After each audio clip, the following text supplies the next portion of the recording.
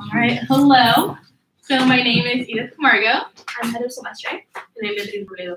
And what we wanted to do was use more traditional tactics to target politicians themselves rather than target citizens. So we did a two-part project. Part number one was our petition. So we did a MoveOn.org petition. And the reason we chose MoveOn rather than, say, Change.org was twofold. Number one, there were a lot of Change.org petitions out there. And number two, MoveOn.org provided a very simplified process for signees to actually use their name, zip code, city, email, done. Very straightforward. So that is why we chose MoveOn.org. So our petition targeted IBWC Commissioner Edward Drusina. And the reason we chose him as our target was because many of our speakers noted he was not doing his job at all. So he was not what we called was for him to enforce Article 4 in Treaty 44. So we really, really wanted him to do his job pretty much.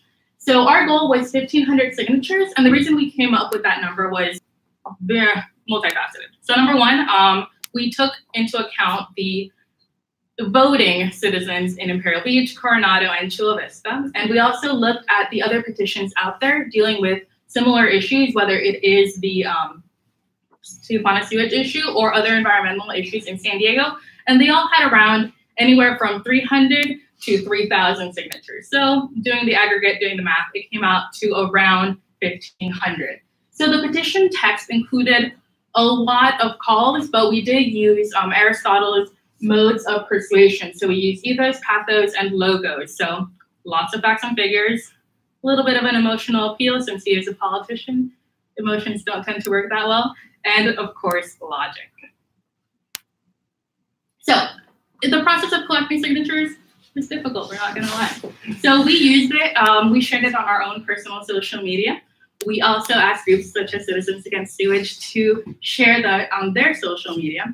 And lastly, we asked San Diego student groups to share because students like being involved in activism and signing a petition is rather easy activism.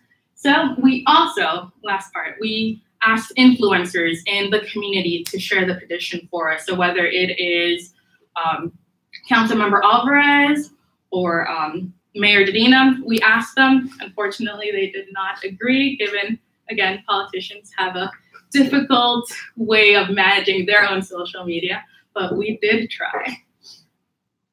So the results were disappointing, we have to admit. We got three, around 300 signatures, so not our 1,500 goal. Um, what we think went wrong is, well, we're trying to decide what went wrong right now. Um, we came to the agreement that it was one, we did not have enough time. Two, the coverage compared to the other petitions that were out there, the other petitions were started right after the big spill. So there was a lot of attention on the issue, a lot of political will, we'll call it. Um, and three, we, I would say, we could have tried a lot harder, pushed it out, pushed it out, pushed it out, but that's what we got, 300 luckily, the second part of our project was pretty successful, if I say so myself. All right, so the second part, we chose to do a live protest and rally. Um, so we wanted to partner with a group that was really passionate about this issue and could really get the word out. So that's why we chose Citizens Against Sewage. We thought they were perfect for us. Um, so initially, when we um, approached Ginger, we talked about um, having a rally in of Juan Vargas' office. However, after speaking to her, we chose to do another target, um, which was the San Diego Board um, of Supervisors. So because of that, we took their advice and we switched to that location. Um, we created a media advisory that said the date, the time. We chose 10:30 on a Wednesday because the fact that that's at the prime time for media outlets to gather their stories for the nighttime news. And we chose this the uh, San Diego County Administration Center at the Waterfront Park. And in front of we chose to stand in front of the statue, which was called the Guardian of the Water statue, which is actually very fitting for the issue at hand. So for getting ready, um, we went out, we purchased all the um, supplies we needed. We made a total of 10 posters. They're displayed around the room. Um, seven were in English and three were in Spanish. Uh, some of the slogans were TNC State of Emergency Now, SG needs clean beaches, and um, Limpia Nuestras Playas means that um, we want to clean our beaches. Uh, we also went over our talking points because we wanted to make sure that um, we were all ready to speak to media outlets. Uh, for expectations, we expected around 20 people to show up. However, we were a lot more realistic in terms of how people could show up for the rally uh, because of the fact that it was at 10.30 on a Wednesday and it was a little bit of a short notice. However, the main focus for us was um, having the media there. Um, Citizens Against Sewage, they sent out the media advisory to over 250 media contacts. So we knew there'd be like a widespread um, of media covering it. Um, and we were very optimistic of having all the um, media there because they are also the agenda, the agenda setters and the gatekeepers for San Diego constituents. They were our main focus. So we arrived to Thursday, the in April 25 during the morning. We already had some some TV outlets, media outlets such as um, NBC7 and Fox TV announcing our protest. So when we arrived at 10 to the protest, they were already Telemundo joined with NBC7. And the first thing we did was put our signs around some of the signs around the around the fountain. And then um, Edith and and Ginger, they gave some interviews to NBC7 and to Telemundo. At the same time, they were arriving other media outlets such as Fox TV, ABC, um, Univision, and Televisa. So that, uh, when they arrived, we all gave some interviews while Heather was taking footage and pictures of all the all what's happening. The last uh, media outlet that arrived was KUSI. They arrived later because they were covering another protest that was being held in the other in the other part of the building about opioid crisis. So here, as you can see, we got some media coverage during the afternoon the next days. Here we can see uh, Telemundo with Edith giving the interview in Spanish. Then uh, we have NBC7 too, where they made some footage about it.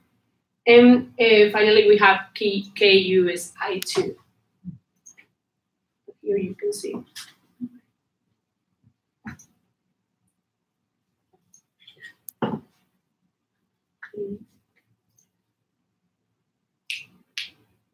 Well, so Also, then go into view, um, full screen. full screen. Enter full screen mode on. So finally, to sum up, we have to tell that it, the starting point was a bit complicated because we didn't get what we expected on the on the on the um, sign of the signs and everything signatures. But uh, when we help, like when we created the protest, we have to say that Citizens Against Sewage helped us a lot with the connections and with everything. And we're kind of happy with, with the results because we discovered and we learned that even we're like we're a small group, we can we can be heard and make a difference. So we hope we help a bit on this issue, and we're gonna say thank you to the Citizens Against Sewage for everything, for the help, and thank you to Professor Sweetser for the opportunity. And that's all. Thank you.